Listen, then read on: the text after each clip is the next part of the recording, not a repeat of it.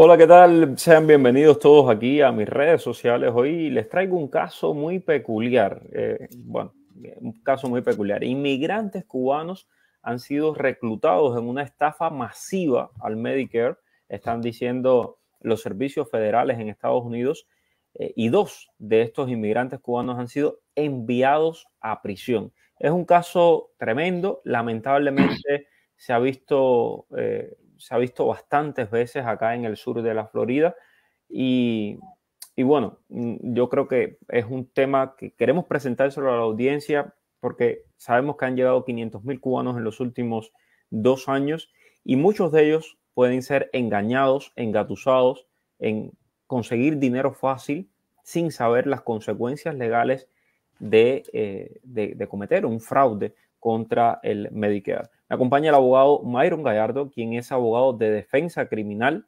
para analizar este caso. ¿Cómo está, abogado? Todo bien, Mario. Gracias por la invitación.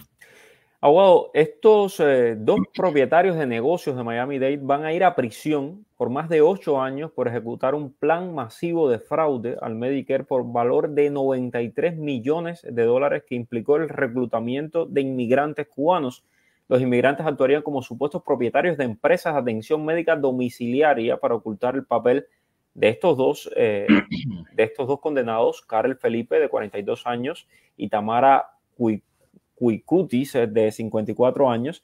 Eh, y bueno, para estafar a este, a, este sistema de, de atención al adulto mayor.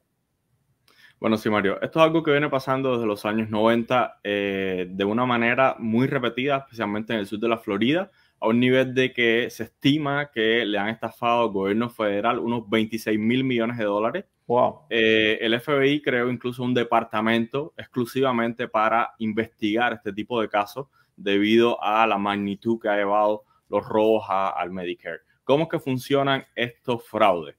Eh, estas personas comienzan a crear compañías, compañías médicas, donde van y reclutan a inmigrantes. Mm, mayormente los cubanos y los haitianos tienen los beneficios de las ayudas del gobierno. Estos beneficios incluyen la ayuda de Medicare o Medicaid, que eh, le da un sistema, le cubre un sistema de salud completamente gratuitos.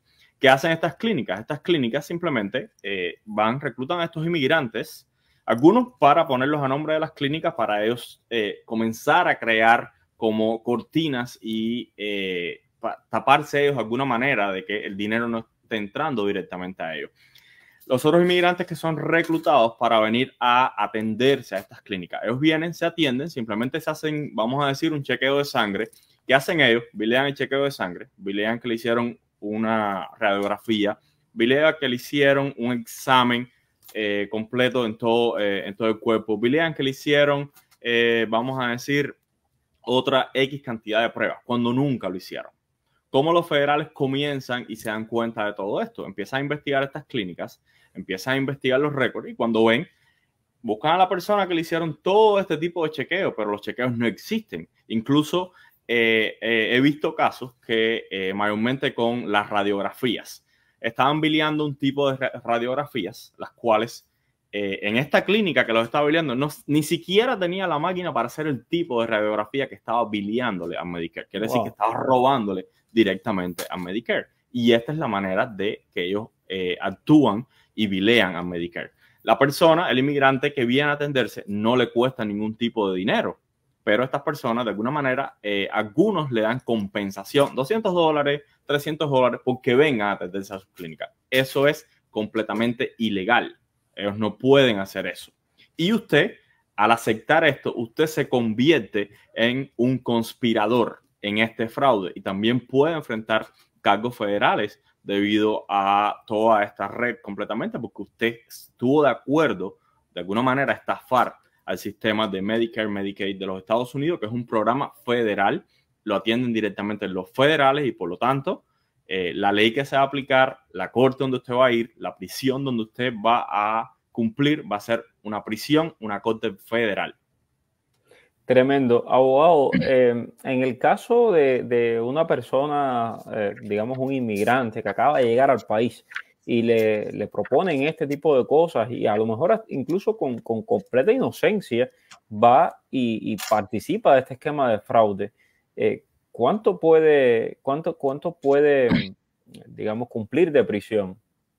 Estas personas, de acuerdo a la cantidad de dinero que haya robado, que haya eh, estafado, disculpen la palabra, la otra palabra, eh, que haya estafado Medicare, la clínica o el negocio el cual él está representando para estas personas. Eh, los federales normalmente ellos quieren a como el cabecilla de toda la red completa y muchas veces obvian a muchos de estos inmigrantes porque saben que de alguna manera son víctimas de estas personas que sin escrúpulos ninguno están robando el dinero de eh, servicios y beneficios que el gobierno da para las personas eh, necesitadas. Pero algunos sí son llevados ante la justicia, pueden cumplir 4, 5, 8, 12 años Normalmente nunca llegan a un juicio. Si llegaran a un juicio, entonces sí eh, van a cumplir bastante tiempo en prisión. Normalmente llegan a un acuerdo con la fiscalía de declararse culpable y entonces pasar una X cantidad de años en prisión. Pero eh, esta no es la parte importante. La parte importante es cuando usted sale de la prisión federal, automáticamente tienes un hold de inmigración. Yo mismo tengo algunos casos eh, relacionados con esto mismo de personas que salieron de la cárcel federal, y pasaron directamente a inmigración y lo estamos defendiendo en la Corte de Inmigración. Siempre hay una defensa. Hay personas que no, no le aplica una defensa porque depende si tú eres residente, si no eres residente. ¿Por qué? Porque si el robo fue de más de 10 mil dólares, eso es una felonía grabada. Es bueno tener jurisdicción para darte una fianza. Vas a pasar todo el tiempo en detención e inmigración. So, se complica, se complica muchísimo tu caso. So, tienen que tener muchísimo cuidado con este tipo de malversación, de, de, robo, de, o de alguna manera verse involucrado en estos scams. Que usted puede que a usted le dieron 200 dólares y usted dice, no, yo no fe 10 mil dólares. No, no, pero todo lo que usted le hicieron, en, eh, supuestamente, o todo lo falso que le presentaron al Medicare, es por más de, por más de 10 mil dólares y ahí está usted en un grave problema. Y un ejemplo de lo que decía el abogado, es decir, hubo personas consideradas co-conspiradores en este caso tremendo que ha presentado y, ahí se lo les compartí el artículo, el Miami Herald. Por ejemplo, está Didier Arcia, de 44 años, Alexei Hill, de 41 años, Jeffrey Ávila, de 33 años. Ellos se declararon culpables de cargos relacionados con estafa al Medicare el año pasado y también fueron condenados a seis años y ocho meses, cinco años y dos años de prisión. Eh, respectivamente, para que tengan idea de, la gravedad de todo esto. Y hay un caso contra un séptimo cómplice que se llama Jordan Remedio Betancourt, que sigue activo, aunque el acusado no ha sido arrestado, según muestran los registros policiales. Muchos de estos acusados escapan a Cuba cuando, em, cuando, cuando eh, los federales tratan de, agarrarlos. Ahora, recuerden que eh, hay un convenio que se firmó en la época de Obama para extraditar a estas personas desde Cuba y no es la primera vez que extraditan a algunos. Sí, exactamente, Mario. Eh, esto ha cambiado antiguamente, antes de Obama, antes de existir este convenio, no extraditaban a nadie y muchas personas, incluso no solo cubanos, eh, en Cuba todavía hay ciudadanos estadounidenses que han cometido crímenes que no son cubanos y están viviendo en Cuba, que nunca han, sido extraditados a los Estados Unidos. Pero eh, en estos momentos, de alguna manera, sí están cumpliendo con este convenio cuando Estados Unidos se da cuenta que esta persona está en Cuba, reside en Cuba. Y, Todo depende de la intencionalidad política. Por ejemplo, a, eh, algunos casos de terroristas estadounidenses que están en Cuba, esos no los, no los deportan, pero eh, algunos de estos ladrones sí los deportan. Hay otros que tienen vínculos con el régimen cubano a los cuales no deportan. O sea, hay, hay una serie ahí de... Eh, y es complicado, ¿no? Como todo en la relación entre Cuba y Estados Unidos, pero yo creo que es importante dejarlo saber.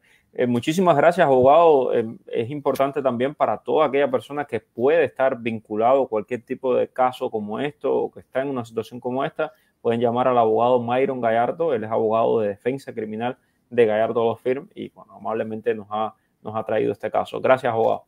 Gracias, Mario. Que tenga buen día.